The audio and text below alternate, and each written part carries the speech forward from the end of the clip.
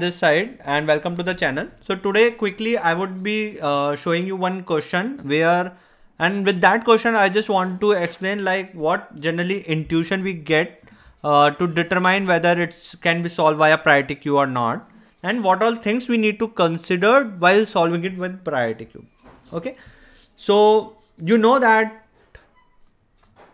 priority queue is nothing but an implementation of heap and we have two type of heap min heap and max heap.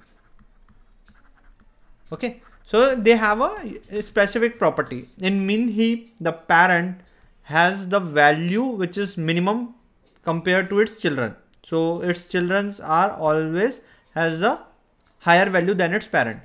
In max heap the parent has the maximum value than its children.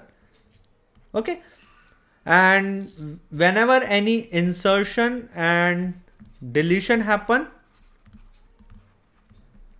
the heapify process will happen which brings the tree again into a proper min heap or max heap. So for example if we are trying to let's say this is uh, max heap we are using 20 10 and now if I am inserting something 40 so whenever we do an insertion, now currently tree is not in a heapify. So it has to do a heapification and it will percolate up. So, okay, so then it will compare to its parent. If it is greater, it will swap. So this will become 40, this will become 20. Then it will again check with its parent. If it is greater, this become 40, this become 30. Okay. So like this, percolate up will happen during insertion okay and all, always insertion happen at the last.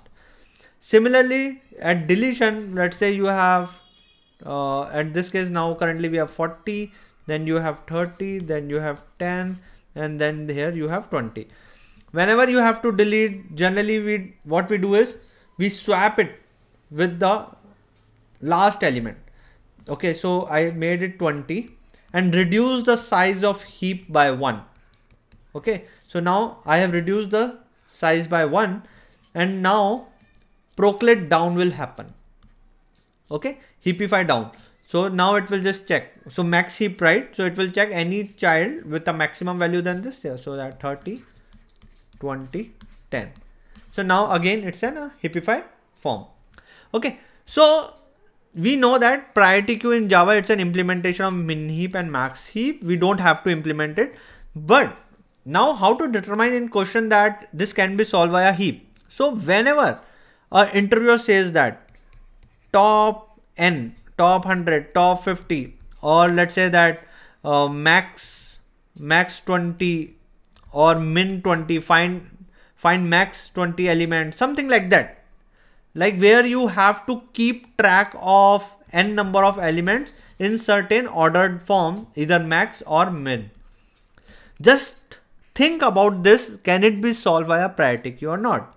Similarly one of the very uh, like frequently asked question is that there are players or users. Okay they are currently there are so many there are so many users right? Let's say thousands of users. And they are playing a game and they are earning a point or amount something. Point or amount whatever you call they are earning something okay so they keep on accumulating. So let's say that user one or player one is accumulating points like 5 10 20 25 like this. Okay similarly different players are accumulating points or amount. So we have to keep track of top 100 players or top 100 users like this. Okay so whenever this question comes now i get to know that okay there are so many users but I only need to track top 100 top 100 based on their amount or points. So means I have to also keep track of their history points also or the amounts which they accumulated before also. So that's where one thing is that we have to go with the priority queue. So now once you know that you have to solve it via priority queue and you start solving it few things you have to consider. Whether you are going with a min heap or max heap so for in this scenario, I am going with the min heap. Okay. So I am creating a new priority queue. I created, let's say a user. Okay. and uh, user has user id and total points okay so i am creating a min heap and this heap i am sorting it based on the points okay whenever see any this node going to get compared with this node right so some sorting has to be done so sorting need to be done based on points okay so i am doing it min heap. So 100 users i want to store it into a uh, increasing order. Like the top one should be the minimum and bottom one should be the maximum. Okay. So this is done. This is i have decided the heap. Now this is the second part. Now whenever a user is earning a point or an amount this add point method will get called.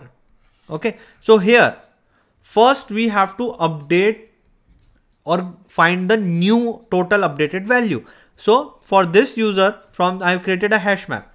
So from this user based on this user ID, I am finding out the amount now. Like whatever the existing, let's say user already earned uh, 100 points or 100 amount, then 20, now it's coming 30. So now I am adding it. So total new total is 150. Okay. So first I am getting a what is the new total amount and for that I am using a map. Okay, so this is another part. Very important while we are using a priority queue. Now you have to put this user, like you have to put this user which has this point or amount into an hash map, uh, into a heap. And it is possible that this user is already present. This user is already present. Let's say earlier it was uh, with 120 points. It was already present. Okay, this this node. So now when we are getting an updated value 150, shall I just change it, update it to 150? No, never ever update the value when you are using priority queue or heap because heapify won't work. Heapify will only work when either you insert at end or delete it like this way. Okay. So otherwise if you just update it, heapification will not work. So what I did is First I check into the heap uh, here. I check into the heap. If it is present, then remove it.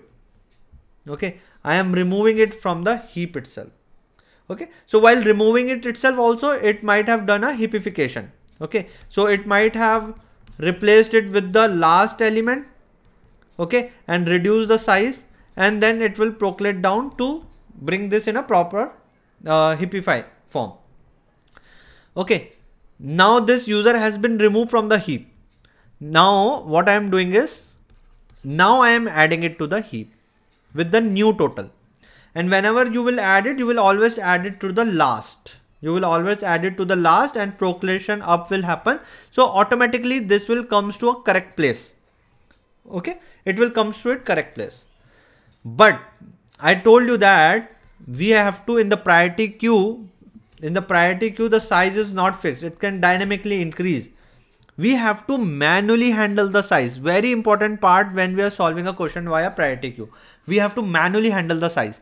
So now let's say possible that whenever I inserted this user, I am using a min heap, right? Let's say this is 30. This is uh, uh, something, some value, 20, uh, 10.